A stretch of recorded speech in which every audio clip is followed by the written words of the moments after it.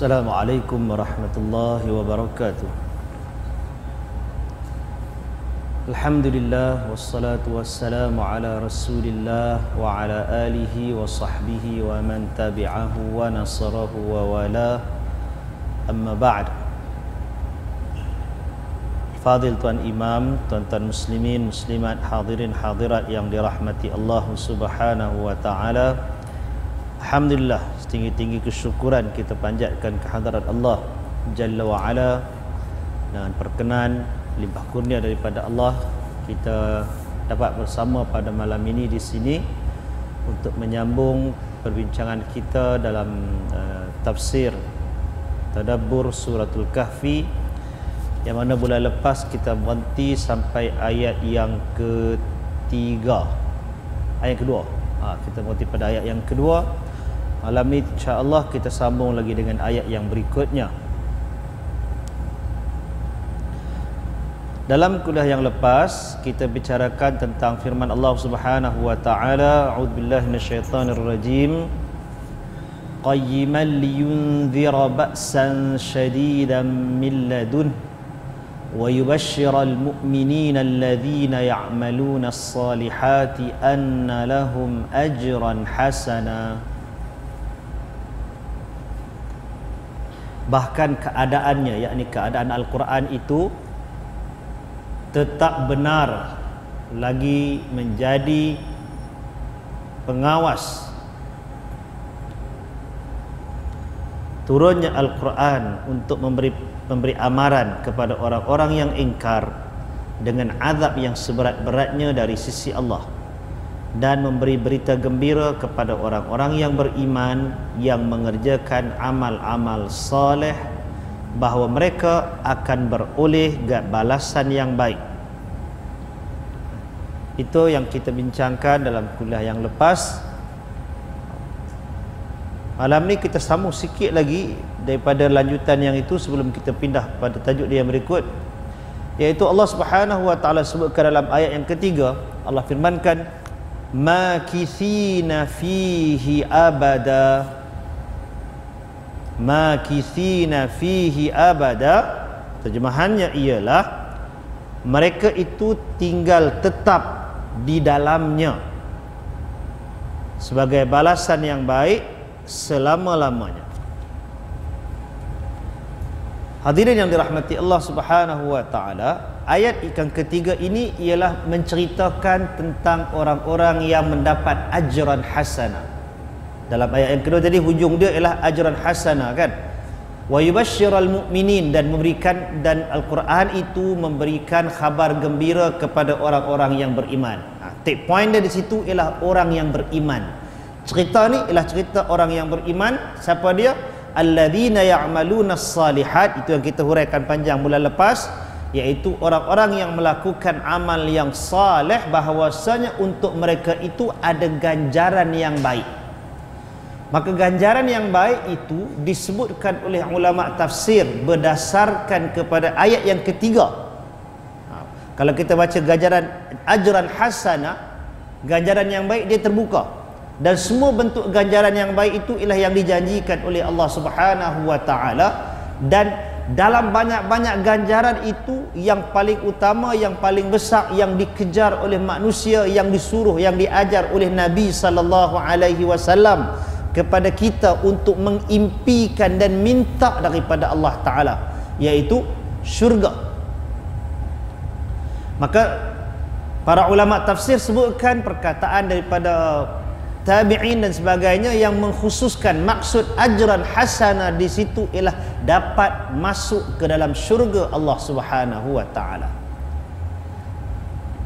Jadi sama ada dia syurga ataupun ganjaran itu umum di dunia pun ia di akhirat dah tentulah yang paling utamanya syurga dan dalam syurga itu sendiri mempunyai begitu banyak nikmat. Jadi pendek ceritanya yang semua kita tahu iaitu orang yang beriman yang beramal saleh nanti akan dihisap oleh Allah Subhanahu wa taala. Akan ada yang tak kena hisab. Dalam hadis um, Ukashah bin Mihsan riwayat Abu Daud hadis yang sahih yang mana Nabi sallallahu alaihi wasallam sebutkan sab'una min ummati yadkhulunal jannah bighairi hisab ada 70 orang dari kalangan umatku yang akan masuk syurga tanpa hisab. Dalam hadis itu dinyatakan dalam hadis uh, itu adalah Bukhari pada dinyatakan tentang orang yang tidak berjampi dan tidak minta dijampi. Itu antara cirinya. Tapi yang penting dalam hadis itu ya juga Ukashah minta daripada Nabi sallallahu alaihi wasallam ya Rasulullah doakan minta doa kepada Allah taala agar aku tergolong dari kalangan mereka. Dari kalangan 70 orang yang masuk syurga tak ada kena hisap apa. Buku catatan amal itu dalam Quran cerita masing-masing dapat tapi yang ni tidak ditimbang. Terus fast track. Masuk syurga. Seorang dah dapat Ukashah Nabi sallallahu alaihi wasallam doa untuk dia. Mas seorang lagi angkat tangan ya Rasulullah diminta juga tolong doakan aku nak jadi seorang lagi. Nabi kata sabaqaka Ukashah Ukashah telah mendahului kamu. Maknanya seorang seorang dah dijamin Ukashah tu. Yang lain masih ada 69,999 yang tidak dinamakan. Jadi ada peluang lagi tak? Doa minta ke Allah Ta'ala. Kita tak tahu. Kalau ada ciri yang Nabi sebutkan tu ialah tidak berjampi dan tidak minta dijampikan. Tapi kita pun tak tahu apa yang kita buat. Selama ni kut-kut ada belah rahsan rahmat Allah Ta'ala kita celuh masuk yang tu. Yang tu satu. Satu guru. Yang lain daripada hak special ni semuanya akan dihisap oleh Allah Subhanahu wa taala. Bila dihisap Quran ceritakan antaranya tentang baca apa? Dalam suratul qari'ah kan? Ha fa amma man thaqulat mawazinuhu fahuwa fi 'ishatir radiyah. Barang siapa yang berat timbangan amalnya maka dia berada dalam kehidupan yang diredai. Yang berat timbang amal tu kita cerita dah bulan lepas mestilah amal itu amal yang saleh. Berat berat timbangan tu ialah berat dengan amal. Dan amal itu ialah amal yang saleh. Recognize yang diterima yang di diiktiraf oleh syarak oleh Allah Subhanahu wa taala yang ditunjuk pandukan oleh Nabi sallallahu alaihi wasallam. Baru amalan jadi berat. Dan siapa yang berat timbangan tu, jadi gambaran Quran bagi kat kita ada timbangan, ada ringan, ada berat. Bila berat belah amalan ni, fahuwa fi 'ishatir radiyah, maka dia berada dalam kehidupan yang diredai. Di dunia dia diredai, di akhirat nanti dia akan dapat ganjarannya yang Allah Taala sebut dalam ayat 2 kita baca hari itu anna lahum ajran hasana. Bagi depa ni ada ganjaran yang baik. Kehidupannya diridai ganjarannya baik. Wa amma man khaffat mawazinuhu fa huwa fa ummuhu hawiyah dan barang siapa yang timbangan amalnya ringan tak ada amal. Ataupun ada amal yang amalnya tidak diterima ataupun yang dalam hadis Nabi sebutkan ada amal-amal banyak tapi amal tu jenuh nak kena bagi ke orang. Amalan ni kena bagi balik ke orang. Pasal apa? Bayar hutang kezaliman masa kita hidup di dunia. Hak tu yang kita sebenarnya sangat-sangat kena takut. Dalam amal tak berapa nak banyak. Hak yang ada tu pula entah tak soleh entah tidak. Barangkali banyak hak mereka sendiri daripada hak Nabi tu nak kena bimbang juga. Hak belen-belen hak ada tu pun kita tak tahu berapa banyak nanti kita nak kena pulang balik kepada orang atas kezaliman yang kita buat. Kan ke itu sebenarnya sangat menakutkan kita. Tambah kalau zaman lah ni terdedah kita menzalimi orang lagi banyak ruang. Banding hak dulu dulu cara lama old fashion kan orang tak pi kedai kopi sembang pi mengata surat layang tak ada nama ni Jarang-jarang sekali nak tulis. Lah ni tak payah pakai surat layang dah. Orang boleh copy paste masuk dalam WhatsApp, masuk dalam Facebook, hantar. Buka mana-mana punya page Facebook, siapa punya ke tang tu kita boleh tang tu kita boleh menabur kezaliman kita di situ. Pi kata ke orang, pi fitnah, pi kutuk, pi speed, semua boleh buat belakang tang tu. Tanpa kita ambil kira nanti kita di akhirat kita akan dipanggil semula oleh Allah Ta'ala nak kutip balik hak kita tabur tu. Masa di dunia kita seronok jadi tentera bawang Malaysia ada kata kan. Facebook kan orang Malaysia kan hebat tentera bawang. Kata dunia Malaysia aja ada tentera bawang ni sampai keluar dalam Facebook tu perkataan-perkataan yang tidak diketahui zaman dulu dan zaman sekarang tak diketahui. Keluar belaka. Mak Saleh pun heran ni bahasa apa mereka ni? Kan ramai dah orang bangkitkan isu. Ialah kita tahu cerita yang berlaku di New Zealand apa semua tu di saat orang kagum dengan orang-orang New Zealand yang tunjukkan solidariti dia yang turut berduka. Semua orang rasa seronok rasa bagus lah. Daripada hak atas sampai turun semua ada part-part yang kita tak setuju tu biasalah masing-masing. Tapi bayangkan itulah sambutan yang mereka buat simpati kepada orang Islam. Kita mungkin pandang oh inilah masanya apa namanya orang boleh masuk masjid tengok apa semua. Itu pun kalau orang Melayu jangan. Try tengok masuk masjid macam mereka masuk masjid. Ada muka JK masjid yang ketat je kan? Apa masuk masjid dengan tak pakai tudung dengan pakai t-shirt dengan pakai apa? Tapi mereka sana masuk lah. masuk pasal bekas mereka nak menghina mereka masuk tu mereka nak tolong sama solidariti berjaga mereka nak tengok apa yang orang Islam buat apa yang mereka baca tapi kalau awak perangai macam kita eh, duduk sini kan? Tengok masuk mas lain macam sikit masuk masjid muka kita pun mula start berkerut kita pun ketat. Tak usah kata orang tu budak-budak masuk pun neraka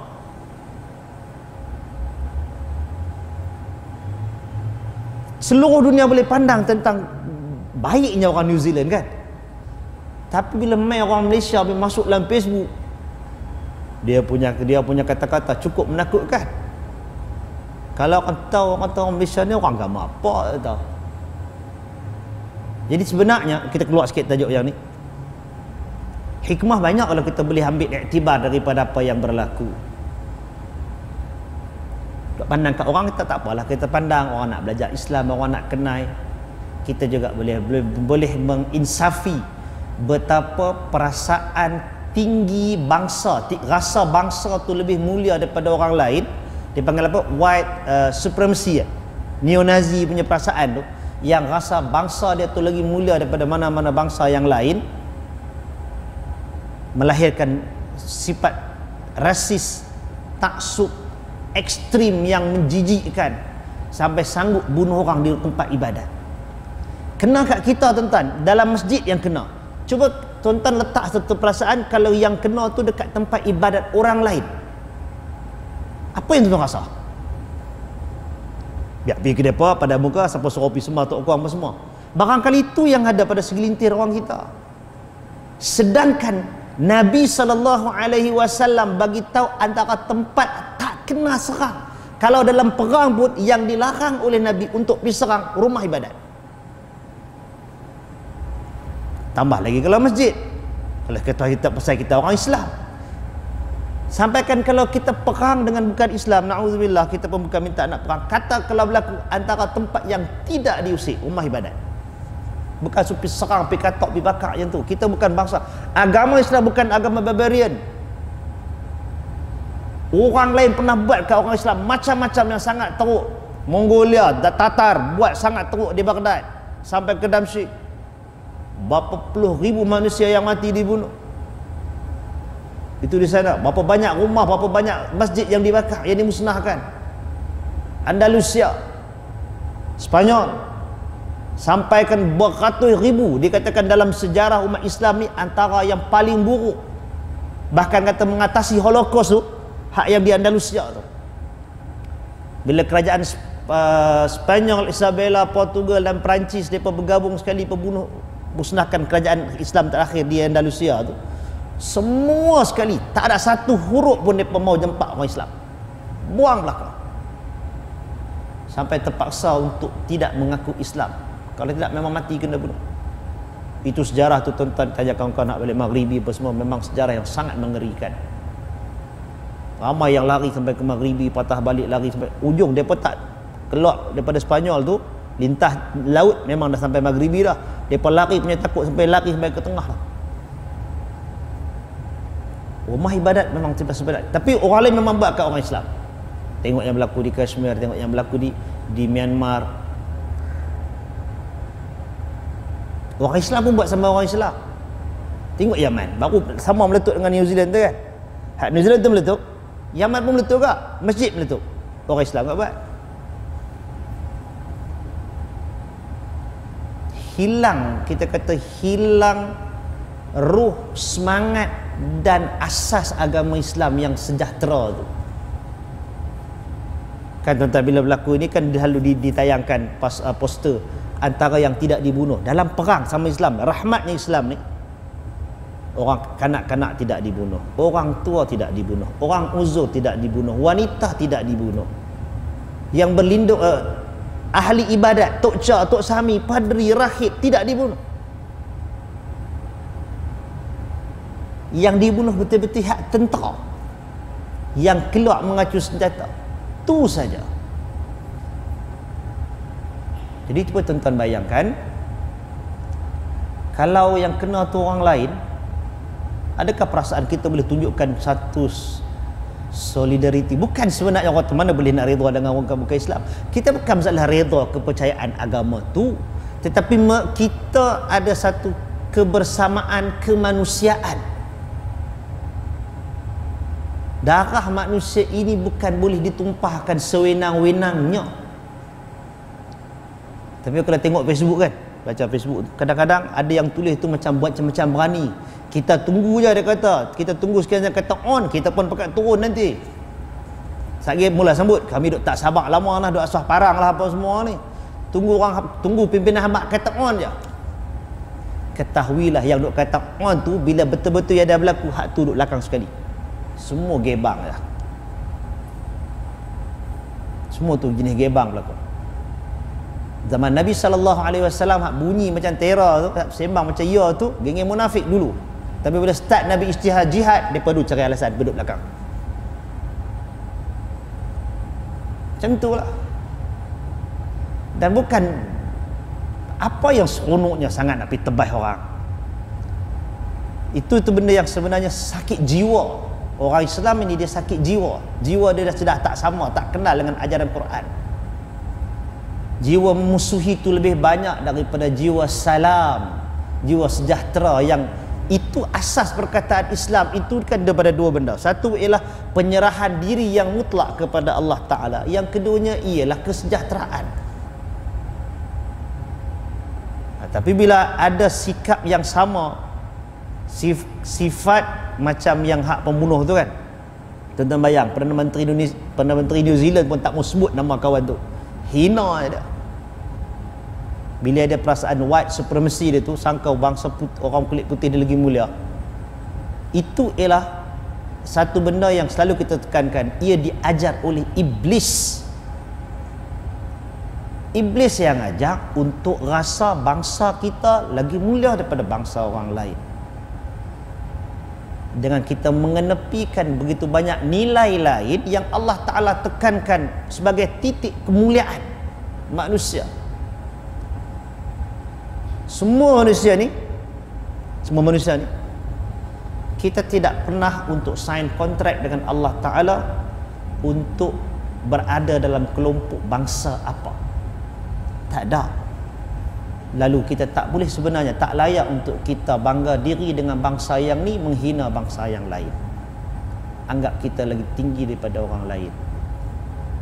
Tapi kita boleh berbangga dengan kemuliaan apabila kita ada iman dan kita ada takwa kepada Allah Ta'ala.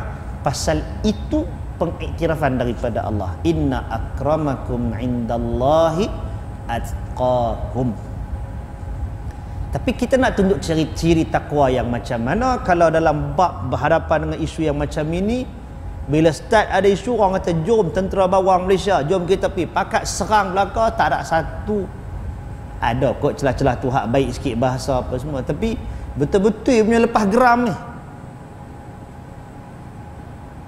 Betul-betul lepas geram dia punya maki tak ada dah.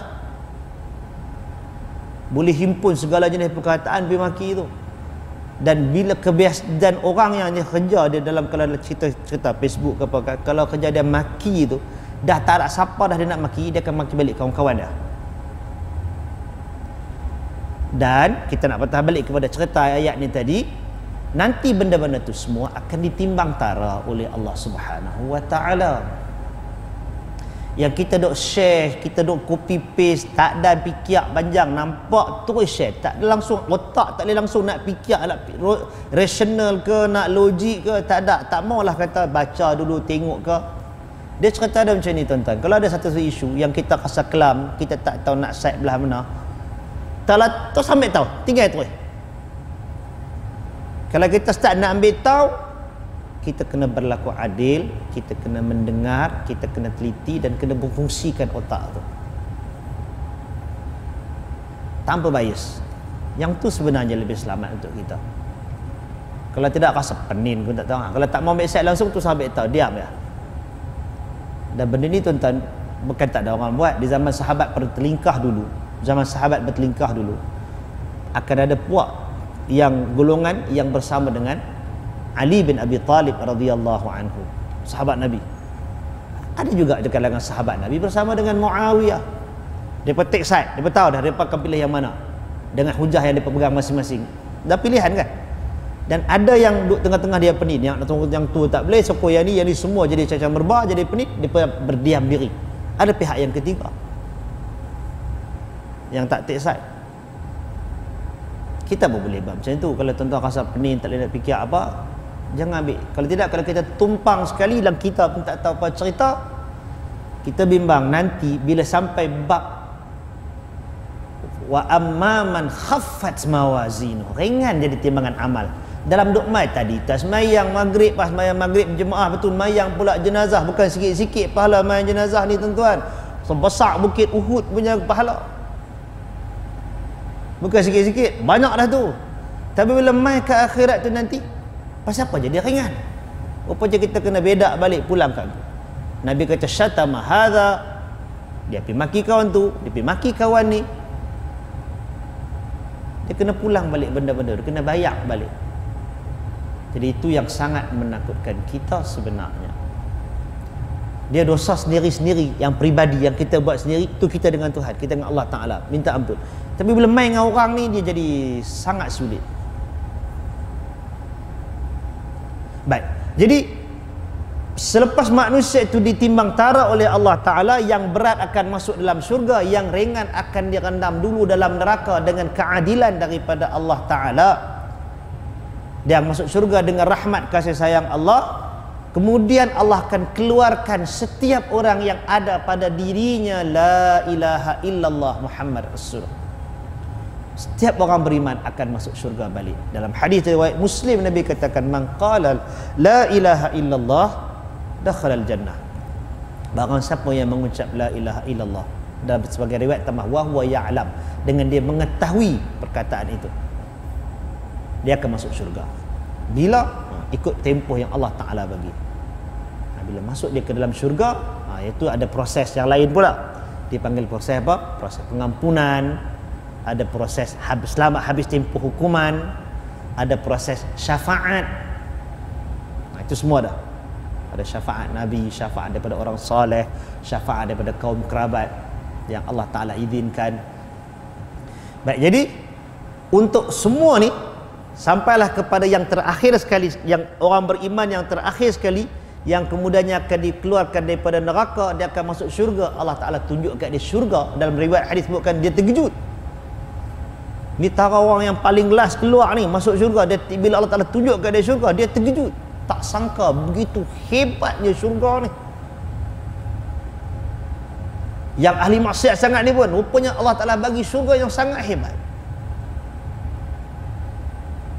Dan ayat ni sebutkan makithina. Maknanya bila dia masuk ke dalam syurga tu nanti dia akan tinggal tetap di dalamnya semua orang akan masuk. Yang beriman. Bila masuk dengan tingkatan masing-masing dengan ganjaran yang Allah Ta'ala bagi kepada masing-masing. Kita tuan-tuan bila cerita nikmat syurga Allah Ta'ala bagi. Antara ayat yang Allah Ta'ala sebut tentang boleh jumpa dalam surah Al-Insan dan jumpa dalam surah Al-Waqi'ah jumpa dalam banyak surah yang lain dia sesuatu yang kita boleh negak imagine kita boleh baca Quran. Kalau yang faham bahasa Arab dia baca satu dia boleh faham. Kalau tidak kita baca terjemahan. Tengok kan? Nak feel tu ada yang disebut oleh Syed Putus sebagai at-taswirul fanni. Kita bagi gambaran. Dan kena tahulah bila kita menggambarkan dia tak sama. Syurga dia lebih indah daripada apa yang paling indah kita boleh gambarkan. Jadi Allah Taala sebut tentang alal araiki muttaqiun sampai-sampai masuk syurga tu duduk sandak baring atas sofa yang sangat lembut ni. Pakat balik sandak yatufu alaihim wildanun mukhalladun bi akwabin wa abariq wa ka'sin min ma'in. La yusaddauna anha wa la yunzifun. Wa fakihatin mimma yatakhayyarun wa lahmi tayrin mimma yashtahun. Wa hurun 'ain. Masyaallah. Tuan balik buka baca. Allah Taala sebut dalam surah al-waqiah. Masuk kita nak gambar. Kalau kita tuan boleh gambarkan tuan balik kerja balik pergi mana-mana jam lalu jalan jam pining jam kan? Alhamdulillah tadi tak berat jam. Sampai letih tuan-tuan pergi mana dulu? Kalau kita jenis rumah ada jenis sofa bagus punya lembut sofa bed letak-letak sandak kan berhenti tang tu sandak rehat terus terkedar tang tu kadang-kadang tu kalau balik letih tu terlena tang tu terus sandak kan ataupun tuan-tuan jenis cuti. Ini esok ustaz cuti sekolah ni pergi bawa anak family pergi cuti apa kan. Bawa cuti dengan heret bag apa semua sampai ke hotel. Jangan cari hotel cokiong cari hotel yang betul-betul hebat dah rasa kan nak masuk tu. Takat kita mampu. Masuk-masuk tu Allah lega orang Mumbai berkata lega lah punya lama berjalan sampai-sampai letak beg terus sandak terlentang atas, atas tilam tu. Punya sedap syok lega melepaskan kelelahan. Kita rasa itu dah cukup nikmat dah. Allah sedap je hayayun. Anak belum lompat tak kata dah njut njut njut kan. Punya syok tu. Bayangkan syurga dengan kenikmatan yang lebih melegakan daripada apa yang kita rasa. Sampai-sampai masuk duduk tu sandak Allah syurga yang Allah Ta'ala bagi. Itulah kenikmatan itulah kerehatan daripada segala bentuk kelelahan masa hidup kat dunia. Dunia memang penat lah dunia memang letih dunia memang penuh pancaroba dunia dengan segala benda nak kena kita dituntut untuk buat. Kita dikira lagi amalan. Cakap nu tak kena cak buat dia tak boleh hak nu kena buat yang ni tak boleh buat semua nak kena ikut peraturan. Allah Ta'ala yang bagi kat kita. Tapi Allah Ta'ala bagi ganjaran itu dipanggil ajar ganjaran. Ajran hasana. Masuk-masuk. Terbaring. Letak lega alal araiki yattakiun. Petukar Aceh tekan lagi yatufu alaihim wildan mukhalladun. Datang ni pelayan-pelayan wildan pemuda-pemuda yang segak-segak yang tampan-tampan sejuk mata memandang yang mukhalladun. Baju sangan depa tu ada cerek ada cawan ada gelas ada ada ayak daripada syurga. Lepas tu ada apa lagi? Wahurun ain. Ada bidadari bidadari syurga yang menyejukkan mata. Ada wafakihati mimma yatakhayyarun ada buah-buahan mana-mana yang dia nak pilih. Jadi orang suka makan buah-buahan kan? Tunggu buah-buahan. Kalau musim durian kita pilih durian. Apa jenis klon durian nak pilih lain daripada durian apa buah yang paling sedap yang kita rasa nak makan. Semua tu. Fakihah Allah Taala kata buah-buahan. Walahmi tairin. Daging burung. Mimma yashtahu. Daripada apa yang teringin tu dapat. Tak ada sakit kepala tak ada luka tak ada kena panah semuanya nyaman dan semua nikmat yang Allah Ta'ala sebut ini yang dialami duduk dalam syurga pun dengan pakaian pun pakaian yang hebat apa semua kan pakai sutra warna hijau apa semua tu kan. Ayat ni kata makithina fihi abada. Duduk dalam tu selama-lamanya. Duduk dalam kenikmatan selama-lamanya. Dunia tak lama dunia bukan selama-lamanya. Dunia kita ada hayat dia ada tempoh dia ada expiry date kita. Salah seorang dah dapat expiry date dia dah pi ramai lagi. Hak yang di Zealand tu 50 orang tu ada expiry walaupun 50 tu kena serang serentak kan semua kena serang dia punya expiry date tu berbeza-beza. Ada kena masa tu juga ada lepas 2 3 hari. Kita pun tak tahu kita punya tempoh expired tu bila. Ha, dia panggil ajal musamma ajal yang telah ditentukan. Tak tahu bila. Kan ada tempoh. Jadi yang kita nak rebut dunia ni dia ada hak tempoh dia. Bukan tak bagi pulun dunia Memang disuruh untuk kita tuntut Untuk kita berusaha untuk dunia. Banyaklah dalil untuk yang tu. Tapi bukan letakkan dunia tu segala-galanya Dalam jiwa, dalam hati, dalam tangan Genggaman. Kita semua nak fikir dunia. Lupa hak yang kita akan kekal abadi nanti ni. Infinity kehidupan tu. Sedangkan Quran duk sebut kat kita Kita duk baca Wal akhiratu khairun wa abqa Akhirat itu lebih baik Dan dia lebih kekal ini bukan cerita pasal tak boleh kejar dunia, tak boleh berusaha untuk dunia. Dah itu bukan bukan cara faham dia. Dunia kita kena jeligan, dunia kita kena kuasai, dunia kita kena pimpin pasal tanggungjawab kita makmurkan dunia. Tapi dalam masa yang sama nak kena tahu dunia itu sama sekali tidak boleh mengatasi kepentingan akhirat. Hak tu kita kalah. Bila kata akhirat mengatasi dunia, hak tu memang kita kalah. Habis itu macam mana gaya? Kena sentiasa kembali kena sentiasa kita perkukuhkan diri kita akan ada hari yang banyak kita akan lalai dan leka ada hari-hari itu kita rasa insah kita rasa insah kita rasa uh, kita kata apa segar untuk ibadat kita rasa cintakan akhirat itu lebih kita pulun untuk itu dan kita kena tahu tinggal dalam syurga ni nanti abada. Ayat disebut abada. Selama-lamanya. Jadi tonton yang dirahmati Allah ni kita cerita pasal dunia kita cerita pasal akhirat kita cerita pasal keabadian kehidupan syurga tadi ni. Tuan-tuan nak kena ingat relation dia, hubungan keabadian akhirat itu, nikmat syurga tu tadi, tuan-tuan kena patah balik. Ayat sebelum cerita apa? Cerita tentang amal. Amal yang soleh. Amal yang soleh ni terasnya apa? Iman. Terahnya iman. Lepas tu nak dapat laluan ini sampai ke syurga tu apa cerita mula ayat pertama? Quran. Kita tak boleh tinggal Quran. Baca faham hayati amal. Nak dapat benda tu belajar Jangan sampai ada hari yang kita langsung tak pegang Quran tak ingat. Jangan tunggu Quran ni baca masa ada, ada orang mati. Jangan tunggu Quran ni baca hanya bila malam Jumaat. Jangan tunggu Quran ni nak baca bila start bulan Ramadan baru jumpa Quran balik. Quran ini ialah sinaran hidup kita. Quran ini panduan hidup kita.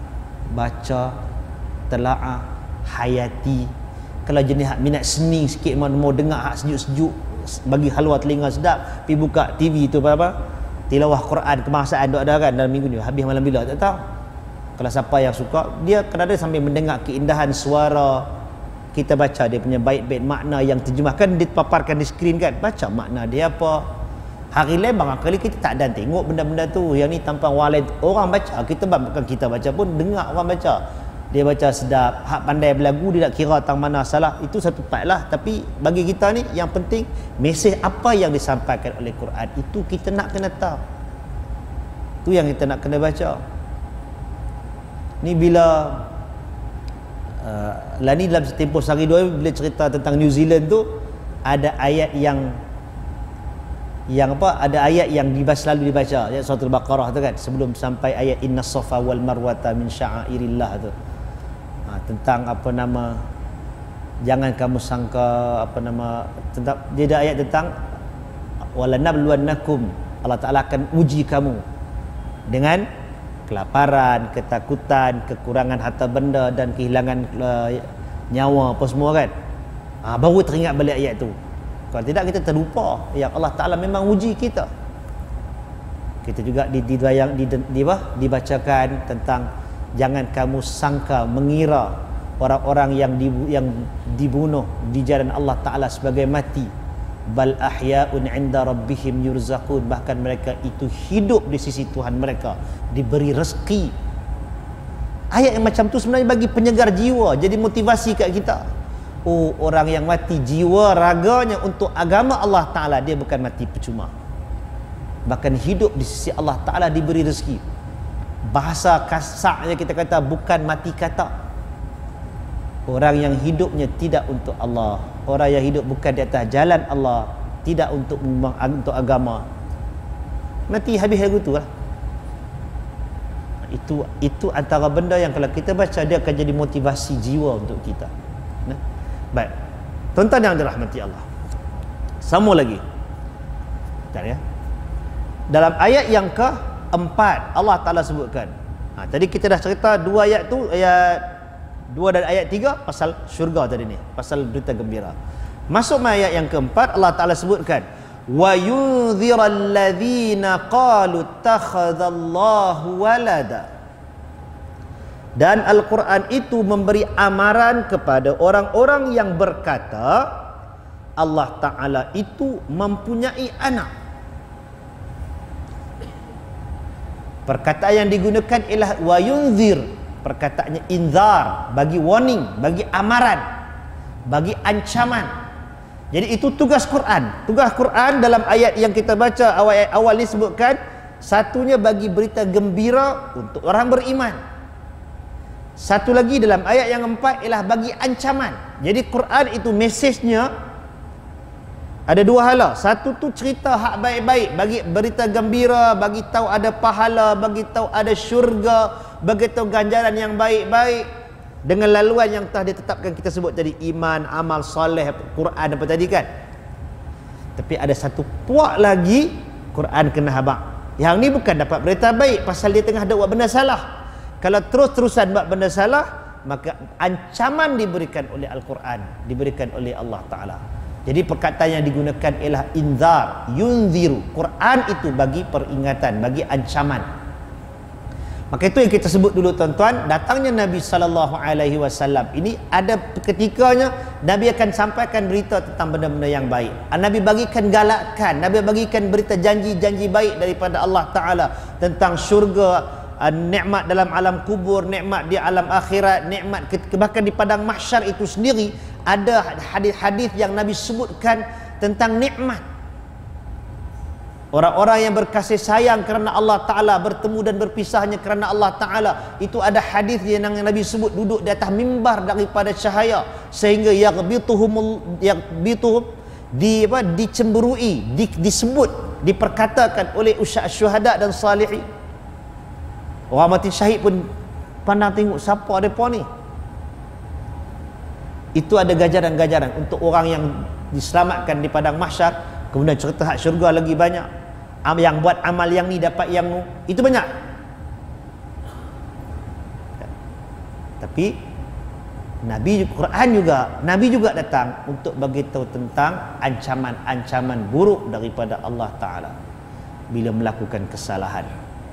Warning bagi ancaman kalau terus kekal dalam keadaan yang begini maka natijahnya iqab dia yang maka adalah hadis-hadis yang sangat banyak tentang dipanggil ganjaran apa nama ancaman dosa di atas perbuatan-perbuatan yang tertentu.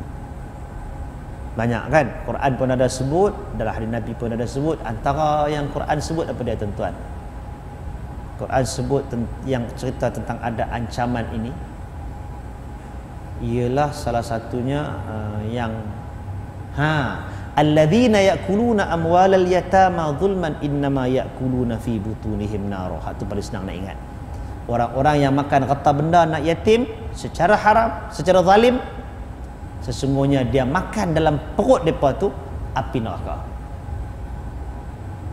Itu terang ancaman. Kesalahan yang ni ancaman dia memang telan api neraka. Takkan telan api neraka duduk dalam syurga orang yang telan dalam perut itu dia telan api neraka tentu duduk duduknya dalam neraka. Lagi apa? Uh, alladzina ya'kuluna riba.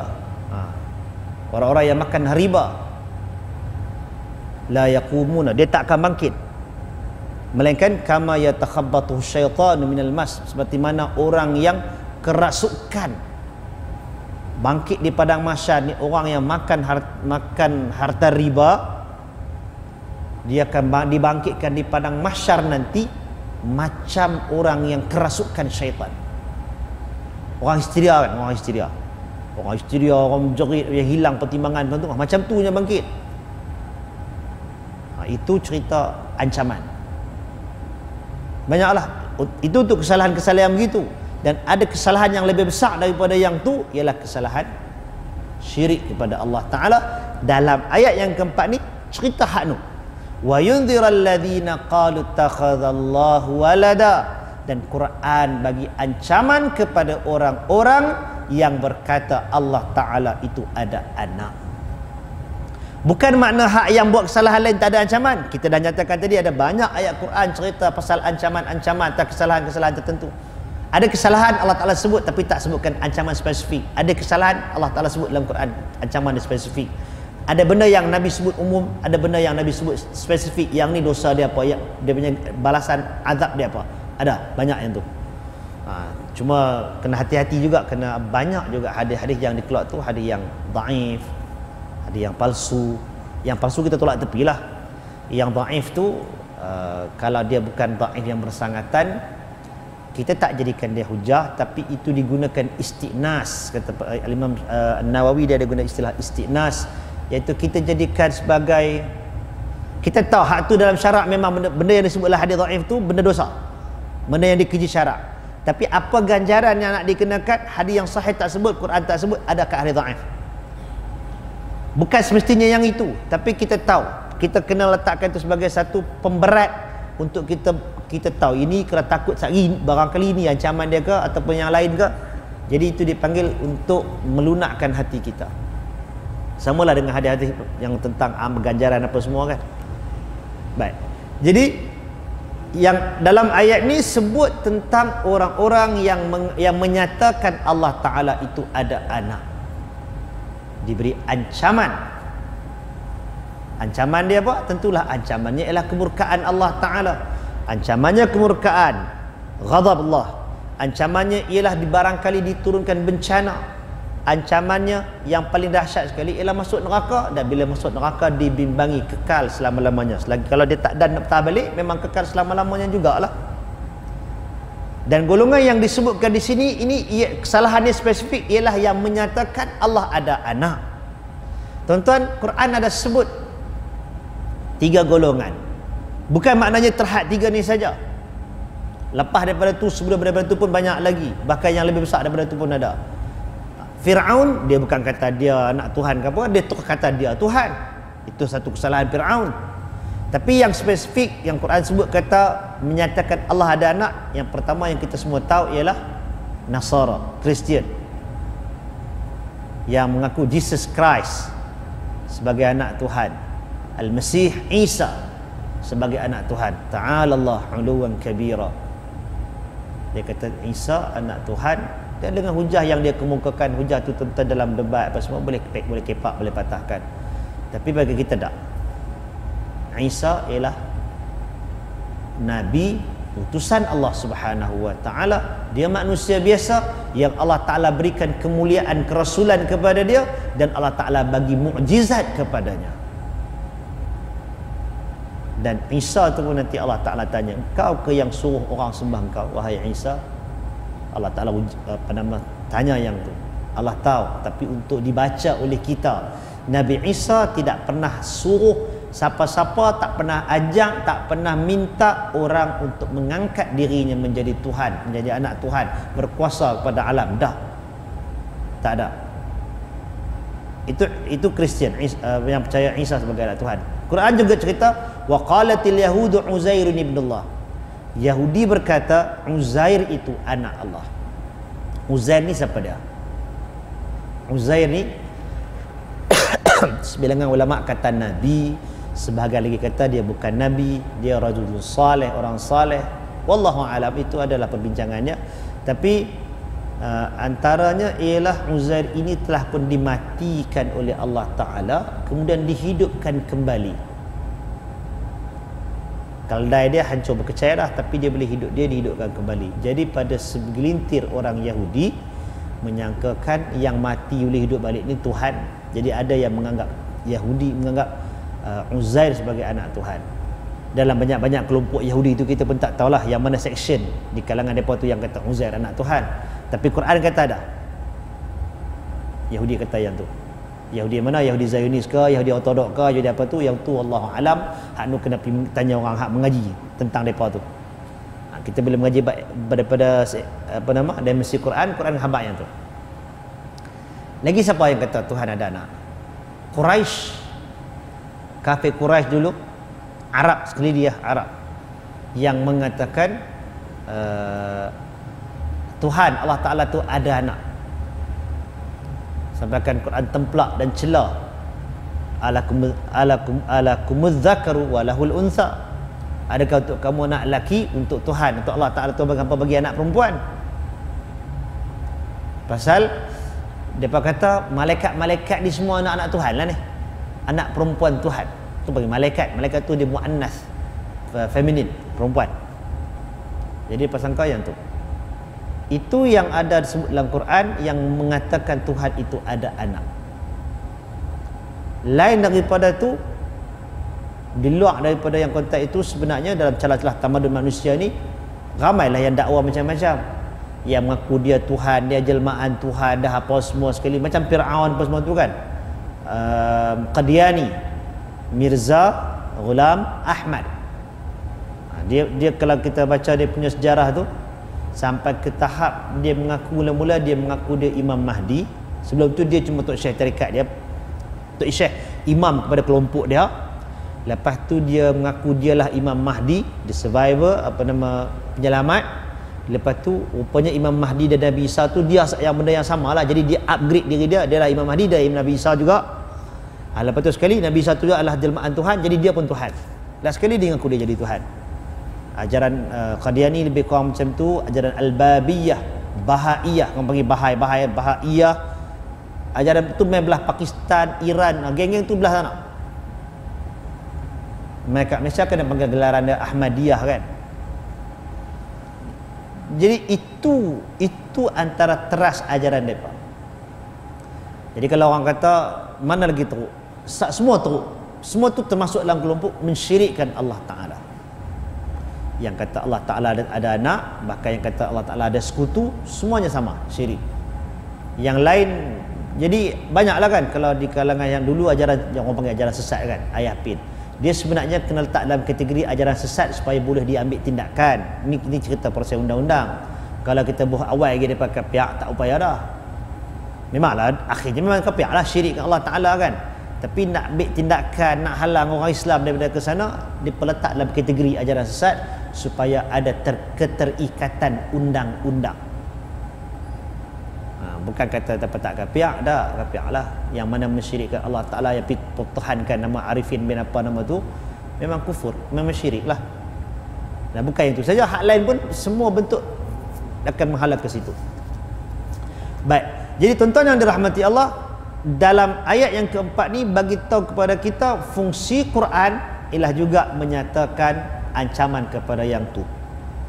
Dan Quran bila ancam yang tu Quran bukan maknanya mesej Allah Taala bukan berhenti di situ. Ada ayat yang lebih awal daripada yang ni Allah Taala sebut dalam suratul ikhlas. Menjelaskan hakikat yang sebenarnya. Apa Allah Taala kata? Qul huwallahu ahad. Muhammad bagi tahu kepada mereka. Sebut Allahu ahad. Allah yang maha asa maha tunggal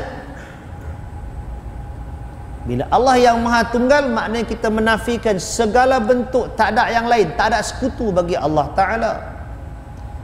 Tidak ada pendua, tak ada duplicate, tak ada imitate ori apa lagi. Tidak ada yang sama. Ada ada Tuhan lain tak ada. Allah maha tunggal. Tak ada Tuhan lain. Dah Allah tu maha tunggal, Allahus Samad. Allahus Samad. Hak tu bukti perasaan kita bila kita tahu Allah tu maha tunggal, Allah itulah tempat kita menggantung segala pengharapan kita. Sangat rugi orang yang percaya Allah Taala itu Maha Asa, Maha Berkuasa, Rabbul Alamin tapi dia tidak meletakkan peta pergantungan jiwa raganya kepada Allah Taala. Dia tak rasa nak bermunajat kepada Allah. Dia tak rasa nak minta ke Allah Taala. Seakan-akan yakin dengan usaha diri sendiri tak mau minta ke Allah. Sedangkan Allah tak kedekut. Mintalah dengan Allah Ta'ala. Allahus Samad. Lam yalid. Allah tak melahirkan. Mana tak ada anak untuk Allah Ta'ala? Tak ada anak. Siapa yang dakwa Tuhan ada anak apa semua ayat itu menafikan. Jadi ayat yang ni pi bagi ancaman pasal apa? Apa kata yang tu bercanggah dengan apa yang Quran yang Allah Taala sendiri beritahu. Lam yalid dan kalau orang kata barangkali Allah Ta'ala ni siapa pula cipta? Dia sampai hujung last sekali semua Allah yang ni cipta yang ni cipta yang ni yang ni cipta yang ni kan last sekali Allah Ta'ala cipta kan. Nah, tak pergi mula fikir siapa cipta Allah? Allah jawab walam yulad. Allah Ta'ala tidak dilahirkan. Sedia azali. Itu yang disebutkan dalam perkataan Allah Ta'ala huwal awal dialah yang paling awal dialah yang maha awal la sabiqa lahu. Tidak ada yang mendahuluinya. Kalau mengaji sifat 20 dia takkan pada sifat apa? Qidam qidam kan? Ha qidam sifat qidam tu lah. Maknanya tidak ada yang lebih awal daripada tu. Kalau tuan-tuan sangka ada yang yang lebih awal maka itu bukan Tuhan. Kalau ada yang lebih awal itu bukan Tuhan yang tuan-tuan yang mengaji sifat 20 digunakan sifat qidam tu. Main mana sifat qidam tu? Apa dalil dia? Wal awal. Allah Taala tu yang paling awal. Bila Allah Taala yang paling awal maknanya tak ada siapa sebelum tu. Tak ada Allah tak ada mak tak ada pak tak ada Allah. Allah Taala sebut dalam suratul ikhlas lam yalid wa lam yulad. Lam yulad tak ada tidak dilahirkan. Tak terbit daripada mana-mana. Oh kalau mula fikir mesti saja gila-gila isim pula. Dah bukan suruh fikir kena yakin kalau sampai tak kita boleh melintas fikir, oh Allah Ta'ala macam ni kot. Itu bukan. Itu makhluk. Allah Ta'ala tak boleh digambarkan. Lam yalid walam yulad. Jadi kalau kita sangka ada yang mendahului Allah, tak. Allah yang paling awal. Ada mak bapak ke? Tidak. Allah tidak dilahirkan. Adakah yang sama dengan Allah yang apa nama Allah Taala melahirkan pula untuk didelegate berikan kuasa? Tak ada juga. Lam yalid. Allah tak melahirkan. Adakah anak Tuhan? Tak ada di Quran yang kita baca surah kafir ni kata bahkan bagi Al-Quran bagi ancaman untuk orang yang kata Allah Taala tu ada anak. Ancam, ancam tu ancam neraka. Kan? Baik. Lagi walam yakul lahu kufuwan ahad. Okey, Allah tak ada bapa, tak ada mak, Allah tak ada anak untuk yang menjadi serahkan kuasa. Ada ke sparring partner ada? Ada ke sekutu yang lain? Ataupun ada ke makhluk yang Allah Ta'ala ambil jadikan dia makhluk Allah bagi kuasa ke dia dia sama-sama berkuasa dengan Allah Ta'ala. Bukan anak. Kalau Kristian dia kata anak. Ha Isa tadi dia berkata anak. Dah kita dah nafikan. Tapi ada tak yang lain daripada Allah Ta'ala yang Allah Ta'ala lantik juga dia sebagai Tuhan juga? Secondary God. Yang sama yang juga mengatur cara alam yang juga mendengar rintihan dan permohonan yang juga mengkabulkan doa dan permintaan yang menurunkan rezeki yang memberikan rahmat. Selain daripada Allah taala ada tak? Dah Quran kata walam yakullahu kufuwan ahad. Tak ada yang sekufu tak ada yang setara tak ada yang standing dengan Allah taala. Satu pun tak ada.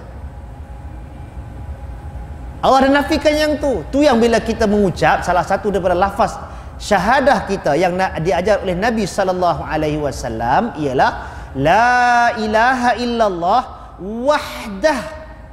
Satu-satunya dia. La syarikalah. Tidak ada sekutu bagi dia Jadi kita tak boleh letak siapa pun.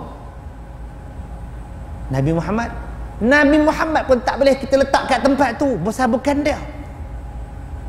Kalau ada yang kata Nabi pun dah Nabi dengan makhluk yang paling Allah Ta'ala sayang yang paling mulia. Jadi kita pun boleh minta kat Nabi. Syirik Bukan syirik pada meletakkan Nabi, meyakini Nabi sebagai makhluk yang paling dimuliakan. Hak tu betul. Nabi makhluk yang paling dimuliakan. Hak tu betul. Nabi lah makhluk yang paling Allah Ta'ala sayang. Itu betul. Nabi lah kekasih Allah Ta'ala yang mulia. Itu betul. Tidak ada manusia yang lebih hebat daripada Nabi. Hak tu betul. Tapi bila tak kata Nabi tu sama. Diberikan kuasa permintaan boleh minta kat Nabi. Hak tu tak boleh. Hak tu syirik. Yang sangka Nabi ada kuasa untuk mengkabulkan hajat Nabi ada yang Nabi ada yang ni. Selepas kemat, kewafatan Nabi sallallahu alaihi wasallam bila pelajak kau tu hak tu syirik. Dia ada hak dah. Pasal walam yakul lahu kufuwan ahad. Jadi kalau Quran datang untuk bagi ancaman kepada orang yang kata Allah ada anak adakah untuk orang yang kata Allah ada bapa ada mak tak kena ancam? Kena ancam juga bila Allah Ta'ala kata Quran ini datang untuk bagi ancaman kepada orang yang mendakwa Allah ada anak. Itu Yahudi, itu Kristian, itu Quraisy musyrikin Makkah. Ni untuk orang yang mengaku Muslim tapi meminta doa, minta kat lain daripada Allah Ta'ala. Ha, part ni juga tuan-tuan jangan keliru. Ada orang dia keliru. kalau tuan-tuan naudzubillah bukan kita lah orang lain pi kubur pi minta kat tuan punya kubur itu untuk memperkenankan hajat yang tu terang-terang syirik. Pi minta kat dia syirik. Tapi kalau tuan-tuan pi minta ke Allah ya Allah ya Tuhanku perkenankan doaku dengan keberkatan Syekh fulan bin fulan hak tu tak syirik. Tak ada siapa kata yang tu syirik. Tapi tetap juga bercanggah dengan syariat. Nabi tak ajak yang tu itu bab lain dia bukan bab syirik itu bab bertawassul. Itu ada perbahasan dia dan wallahu taala alam pandangan yang paling kuat itu benda yang tidak dibenarkan. Pi bertawassul dengan yang dah mati dalam kubur. Dia ada level dia lah kan. Jadi harap-harap tak ada siapa kata yang tu syirik kan. Pasal dia minta dengan Allah tapi pi, pi sebut yang tu. Tapi kalau jenis yang pi pergi letak depan kemenyan atas, atas kubur lepas tu dia pergi tawar pusing keliling kubur minta kat kawan tu. Ha tu jangan ragu-ragu. Memang syirik. Adakah Quran pihabak dalam ayat ni untuk Yahudi, Nasara dan Quraisy Mekah dulu zaman jahiliah ke yang ni tak kena? Hak ni pun kena lah. Yang mai pergi jumpa kubur pergi pegang kat batu nisan tu pergi pegang batu nisan pergi sembang dengan batu nisan apa kaitan batu nisan batu nisan tu? Telefon ke? Boleh sambang orang bawah dan batu nisan tu pula tuan-tuan cuba tengok gali kubur kan. Kalau yang pakai lahat batu nisan tu betul bukan, bukan kena kat mayat tu. Batu nisan kan kita tambun dia tengah tu. Lahat masuk ke dalam ni. Bukan dia direct dengan mayat pun. Jadi kerana itu tuan-tuan yang dirahmati Allah bila kita baca ayat ni jangan sangka ayat ni bagi ancaman kat dekat ke jahiliah Quraisy. Ayat ni bagi ancaman kepada Yahudi yang kata Uzair anak Allah Ayat ni bukan ayat ni bagi ancaman kepada Kristian yang kata Nabi Isa anak Allah. Ya untuk depa yang tu, tapi bukan untuk depa saja. Kita tak kena. Kita pun kena juga. Walaupun kita tak ambil siapa-siapa sebagai anak, tapi bila kita pergi ambil yang lain untuk kita berdoa minta kat dia, itu lebih besar. Syirik. Kesimpulan syirik. Jadi Quran datang bagi ancaman untuk benda yang macam tu. Baik, tuan-tuan yang dirahmati Allah, insya-Allah lepas ni kita akan sambung dalam kuliah akan datang, kita akan sambung ayat yang kelima lanjutan daripada ayat yang ni wallahu taala a'lam ada apa-apa kata tuan tak ada mana أقول قولي هذا وأستغفر الله العظيم لي ولكم السلام عليكم ورحمة الله وبركاته